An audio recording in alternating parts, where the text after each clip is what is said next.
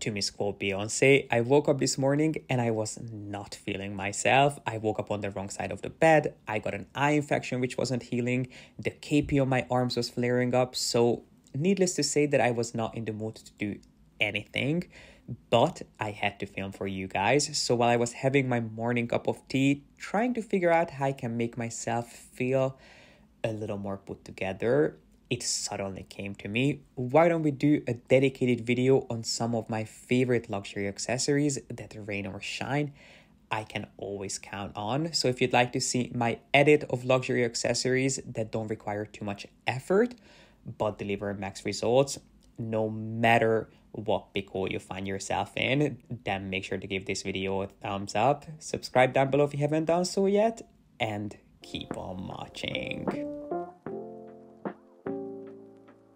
And let the search begin, I headed straight into my wardrobe to poke around some of my accessory drawers because I wanted to show you not only specific things that I own, but give you ideas on what potential pieces to invest in because I understand that not everyone is going to spend a ton of money on luxury accessories even though I do think that putting your money into these pieces would pay off eventually because I know that these are pieces you would get your money's worth out of. But if you're not ready to spend this much money on these accessories just yet, I will try my best to link some more accessible alternatives in the info box for you.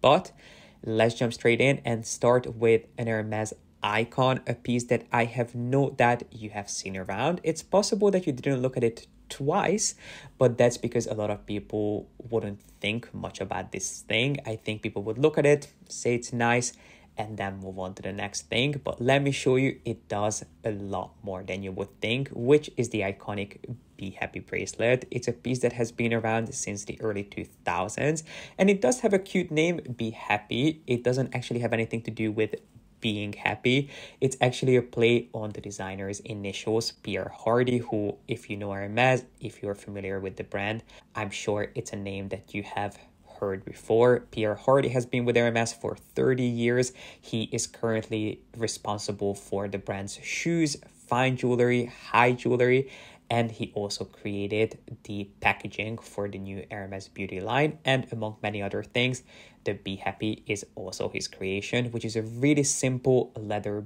band that features an incredibly understated H buckle which is actually reversible. So you can pick this piece up in a ton of different length colors and letters. And as i mentioned they are reversible which means that on each side they will feature more often than not a different color. So you can wake up in the morning and decide which color you're in the mood to show off or which color goes best with your outfit. But they are just such a simple understated design. And yes they might look inconspicuous. You might not think that they do that much for you but let me tell you, there is something magical about these pieces. As soon as you put them on, your outfit just immediately feels a lot more well thought out, well curated, and it makes you feel like it makes you seem like you have put a lot more thought into your outfit than you actually did. It's a piece that looks incredible on its own, but it also makes a phenomenal stacking piece, a piece that you can stack with pretty much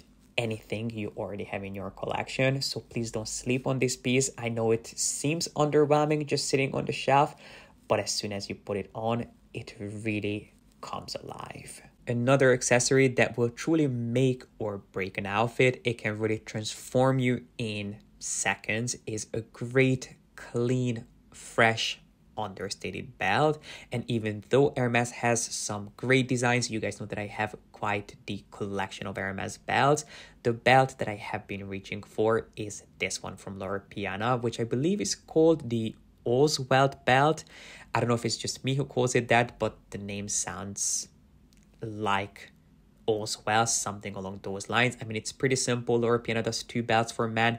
They do the saddle belt and then they do this one. They usually do this in either braided finish or in leather or suede for spring summer in some of the most delicious rich deep saturated hues and then for fall winter they'll do them in regular leather and exotic skins but if you can get your hands on this belt in suede I would highly recommend that you do so because it adds just the most interesting, rich, unique texture to any outfit you're going to style this with. It obviously features a really simple, understated buckle yet it looks like a million bucks and i genuinely never thought i would ever buy a red belt but there's just something so effortlessly sophisticated about Loro Piana's color choices. And you might look at this belt and think, okay, gee, it's beautiful, but it looks a little too big on you. Well, that's for a reason because when it comes to thicker belts, I always like to go at least a size or two up. I want there to be a little bit more material to wrap around and work with. I think there is just something really effortless. It just makes you seem like you're not trying too hard even when you're holding on by a thread. At this point, some people will throw on a silk scarf, which there's no denying there's nothing quite as graceful and as polished as accessorizing with a silk scarf. But personally, I am just not someone who would use a silk scarf as an accessory. It's something that I will admire from the far, but what silk is for some people is what knitwear is for me. Yes, you heard that right. I even wear knitwear in the spring and summer. However, I will do it slightly differently. Instead of actually wearing these pieces, I will just use them as a layering piece in a color that I feel goes best with the outfit that I'm trying to spice up, which in my case is more often than not black. So here I'm opting for a really light distress knit from Saint Laurent, which will just add a little bit more interest to this really simple outfit. And this is a formula that works with anything. If you want to wear a simple pair of jeans and a white t shirt that you just need to take to the next level, if you just need to add a twist, grab a unique knit from your collection, grab a color or a texture that is unexpected, throw it over your shoulders, and I can guarantee that you will feel like a million bucks. It's a trick that works every single time. It's so understated, it's so simple, but usually the best things are. What is it that they say? A messy room, a messy mind? Is that a saying or am I just making that up? Let me know in the comment section. But anyway, I think it does apply when it comes to bags too. I hate having a messy bag. So, one thing that I'm a big advocate of is little pouches that you can use in all of your bags. Of course, you can invest in different pouches in different sizes depending on the type of bags you like, but something that I will never be without is my Hermes Bolide pouch bag, which I think they do sell as part of the beach collection. I think it's meant to be like a cosmetic pouch, which of course it works as one. Personally, I do prefer cosmetic pouches that are a little bit easier to organize, but these I love having in all of my bags just to carry all my essentials, things that I never want to be without. So band-aids, medication, mints, little bits and pieces that you always want to have on you. You can even throw a little a sewing kit in there. Some safety pins I think would come in handy. You can put things like hand sanitizers, wipes. So just things that you always want to have on you. And of course, you know, I love Hermes. This pouch is inspired by their iconic Bolide bag, which I do adore. But today we're strictly talking about accessories and I do love these pouches and I understand that it's quite a simple design. So if you would like to go for something that is a little bit more interesting, I would love to put the new Goyard one on your radar, which I recently bought something from Goyard. I'll share with you the entire story when I get to do my unboxing of that piece. And one of the things that I also considered buying was the new Goyard little cosmetic pouch, which I think would do a really similar thing for you. So if you love Goyard, if you're looking for something that will add a little bit more spice to your bag, that would be a great piece to go for. I think it is, I think if I remember correctly, it retails for 650 euros, which I thought, I mean, it's an insane amount of money to spend on an accessory, but considering how often you will use it, that would also be a great piece to go for. But if you love Hermes and you're looking for something a little bit more subtle, the Bolide pouch I know is something that you won't be disappointed in because every time you reach into your bag and see this piece, you'll be reminded that you have got it together.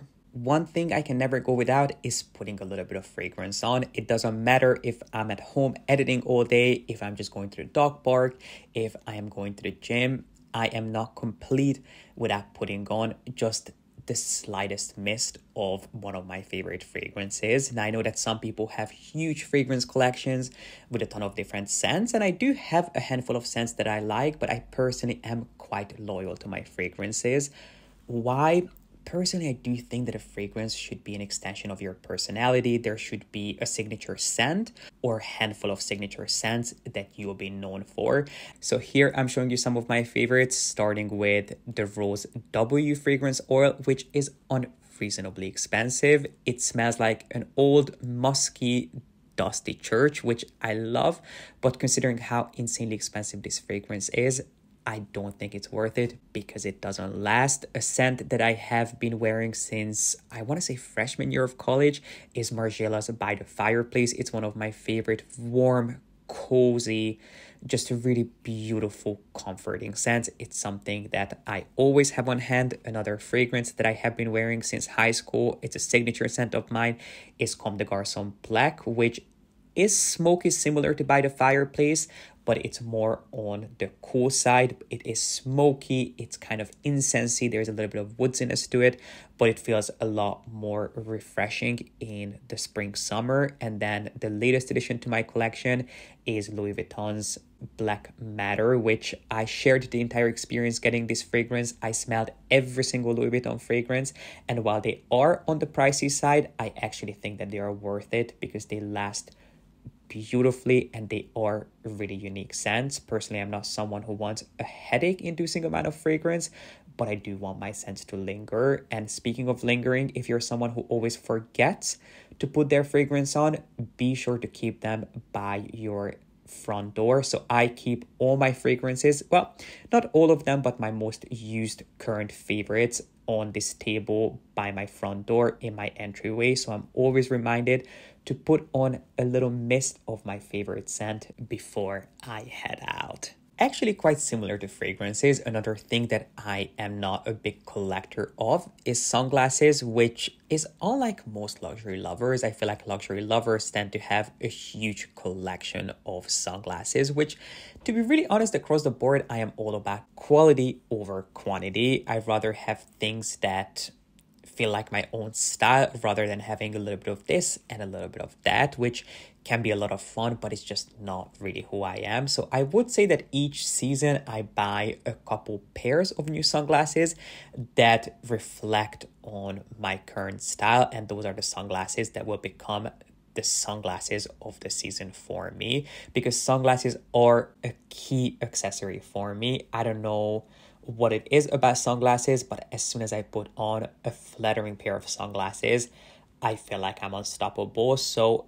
definitely explore your sunglass collection. Make sure that you have sunglasses that reflect who you are, sunglasses that reflect your personality, your style, things that you can always reach for because they go with the majority of your things, and that they also make you feel more powerful. If you love an oversized statement pair, go and get a couple of those if you like something more subtle and understated like I do. There are some amazing designer sunglasses out there. My current favorite brand is this one, which is a British brand. I think it is called Cubitts who recently did a collaboration with Mr. Porter. So these are from their collaboration that I picked up recently, and I actually shared the three pairs that I bought on Instagram. And these are the two that I ended up keeping thanks to you guys. I was only going to keep one, but so many of you loved both of these that I was like, you know what? You guys have incredible taste, so I might as well keep both, and I'm so happy I did. Now, if you ask me, not that I'm an expert on sunglasses, but in my opinion, you do need three pairs in your collection a pair of aviators or metal frame sunglasses, a colorful pair, which in my case is usually going to be brown. That's as colorful as I will go. And then you do need a pair of really simple, clean, sleek pair of black sunglasses that just go with anything and everything. Obviously, make sure that these pieces represent who you are. If you're a bold person, go for a statement pair. If you're more understated, go for something a little bit more subtle. But I think if you have these three different designs in your collection, you are all covered. And my friends, this completes today's video. I cannot wait to hear your thoughts on this new format. I hope you enjoyed this more vlog style video. I know it was quite unusual, but I really hope you enjoyed it. If you did, please make sure to give it a thumbs up and subscribe if you haven't done so yet. I am very much looking forward to seeing you back here next week with a new video. And in the meantime, you can find me on Instagram and even on TikTok now. And my friends, just one last reminder if you would like to take advantage of my discount code with 7RP, you do still have a couple of days left. If you have no idea what I'm talking about, make sure that you check out my last video on how to store and care for your Hermes bags because if you have an Hermes bag without an insert, it's definitely something that you want to look into. So make sure that you check out my last video and if you have already seen it and you're contemplating using my discount code, make sure that you do before the 8th of August because I'm not exactly sure when I'm going to be able to get another one. But anyway, I just wanted to remind you if you're interested, I appreciate you being here and I'll see you back here really, really soon.